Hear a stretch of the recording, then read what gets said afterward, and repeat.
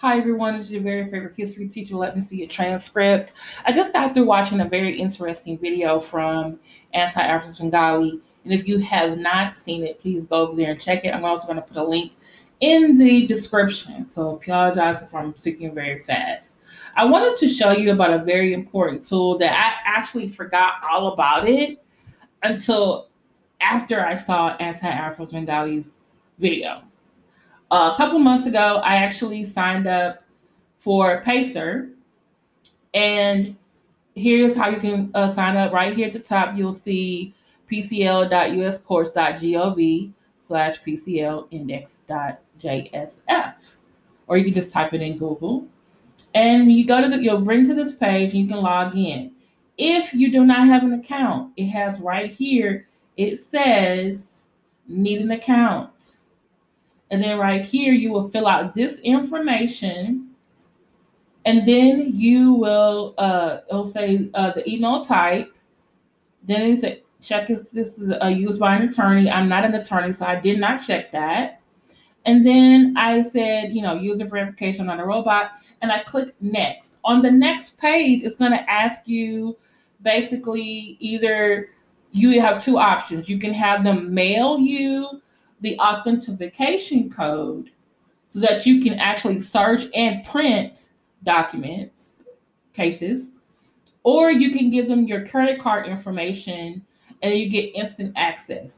You will not be charged until, let's say, you want to print something.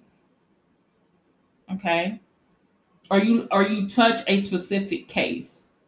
If you're just doing like a just a search, you're looking, you don't get charged for that. You only get charged when you click on a specific case and you want to print it. Okay.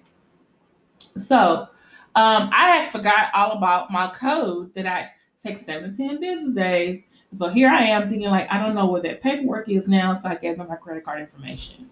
Okay. So here I am. I've got my access now. I got to log in and then I can go, go find cases you can do a, a short search or a bad or or an advanced search.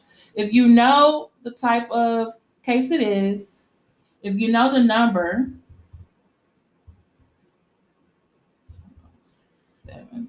Oops, I forgot something there. because it's a civil case. 2020 uh, is most likely going to be the year Okay. And then it's going to ask me, most important thing, know the date and know the number. If you don't know the number, um, you also can pick what I want to open case. And then if I know what circuit court it is, because a lot of these also on this PACER or federal uh, courts. There's district courts all over the country, but there are also federal courts. And then when I'm done with all of that, as you can see, the date, the case number. It's open in the Third Circuit. And then I'm going to click search. And then this is what comes up.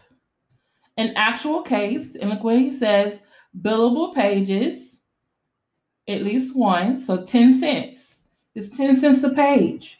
Not very, not very uh, bad at all. Also over here, you can do so you can download your search results Let's say you have a colleague or someone you want to give the information to, you can give it to them. You can also refine your search. You can uh, have different columns displaying information. Also, right here, you can save this to searches. So let's say you want to come to this again the next time you get on a computer, but you don't want to type everything. This is a really good saver right here. I actually could have did this, but I wanted to show you how to get here first. Okay. So you have saved items, court information settings, new search, okay? And I'm going to show you uh, what I did. So right here, it shows you what kind of case it is. It's a civil rights case. Archibald is the plaintiff. Johnson, it's supposed to be Johnson. Johnson is defendant. And then so you can show parties involved. This is the case the court is going to be in, and the date it was filed. Okay, so this was basically happened this week. You click on it, it pops up another screen. It takes a while.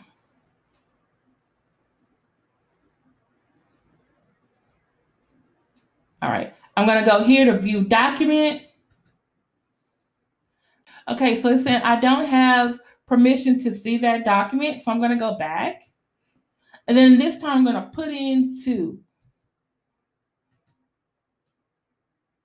And here I have one is nine pages, and then the attachment designation form is one.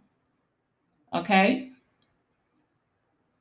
All right. So I just want you to show you this can be a good resource for anyone who is doing like investigative work, um, trying to search to locate family members, someone who is um, doing some research on a topic. It can be for college, law school, uh, if you're a paralegal, if you're a lawyer, if you're a judge, if you're a clerk in someone's court and, you, and your boss says, hey, need you go find this case.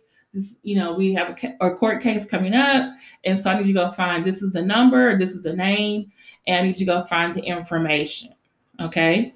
Um, this is uh, this uh, website can be used, like I said, for professionals and novices or people who are not.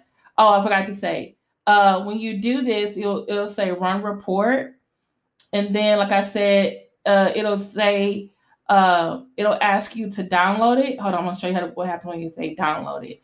When you download it, this is when you're gonna be able. This is gonna tell you how much it is. Nine pages, ten cents a page, and the first page.